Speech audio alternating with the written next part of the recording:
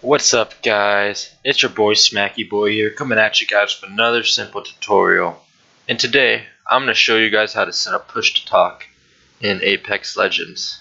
Alright now it's a pretty simple process so on the home screen right here what you guys want to do is you guys want to go to the bottom left to the settings right here click on that and then make sure that you're in the audio category right here. I'm already in that right here and go to voice chat right here and you're going to want to put it on push to talk by clicking this. Alright and then you could also set up all the other stuff like the volume that you get from other players.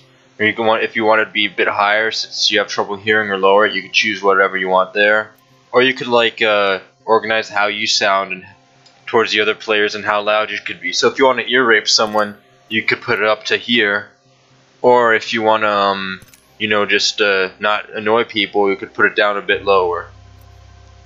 So in order to put the push to talk bind, you want to go in mouse and keyboard. Now, the push to talk bind button for talking is automatically set to T. But to change it, you just got to go all the way down to push to talk hold and just set the button you want by clicking on it and then just pressing a random button on your keyboard. So let's just say if I prefer to have it at R, I just press R and it's good. I really prefer to use my mouse button though. But yeah. So yeah, that guys, that's how you uh, set up push to talk and voice chat in Apex Legends on PC. If you guys have any questions to process, please leave a comment. I'll try to get to you. And uh, also, please like and subscribe. I'll really appreciate that. Thank you all.